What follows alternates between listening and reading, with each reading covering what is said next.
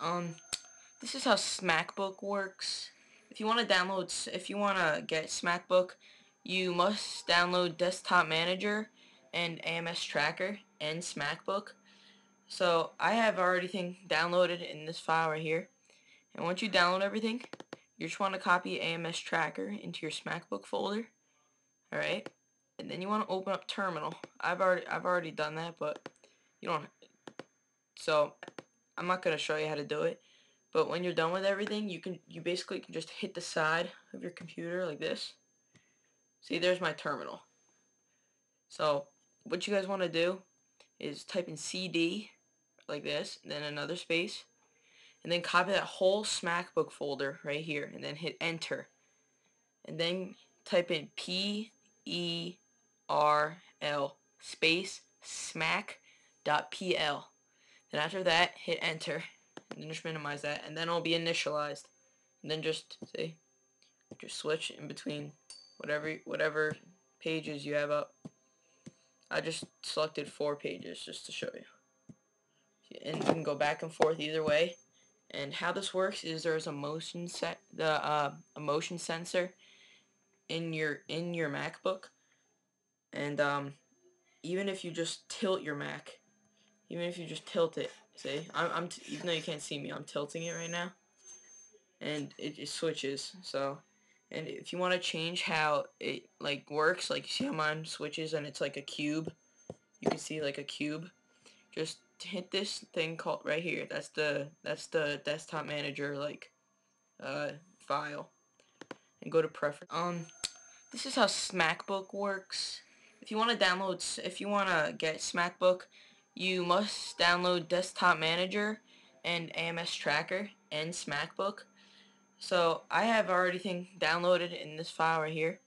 And once you download everything, you just want to copy AMS Tracker into your SmackBook folder. Alright? And then you want to open up Terminal. I've already I've already done that, but you don't so I'm not gonna show you how to do it. But when you're done with everything, you can you basically can just hit the side of your computer like this. See, there's my terminal.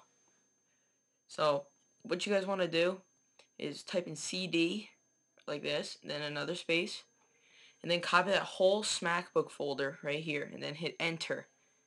And then type in P E R L space smack.pl. Then after that, hit enter and then just minimize that and then it'll be initialized and then just see just switch in between whatever whatever pages you have up. I just selected four pages just to show you. And you can go back and forth either way. And how this works is there's a motion set the uh, a motion sensor in your in your MacBook. And um, even if you just tilt your Mac even if you just tilt it See, I'm, I'm even though you can't see me, I'm tilting it right now, and it, it switches. So, and if you want to change how it like works, like you see how mine switches and it's like a cube, you can see like a cube. Just hit this thing called right here. That's the that's the desktop manager like uh, file, and go to preferences, and then you gotta find it. So right here and go to desktops and go to switch transition and just select whatever one you want. So I'll do warp. So now watch when I do it. See, it does a different thing every every time. Um, if you want to do any anything, warp and fade. See. So um, and you can also just change desktops by clicking on the things up here, like that. And uh, it's pretty simple. Alright, thanks guys. This. And then you gotta find it. So, right here, and go to desktops, and go to switch transition, and just select whatever one you want. So, I'll do warp. So, now watch when I do it. See, it does a different thing every, every time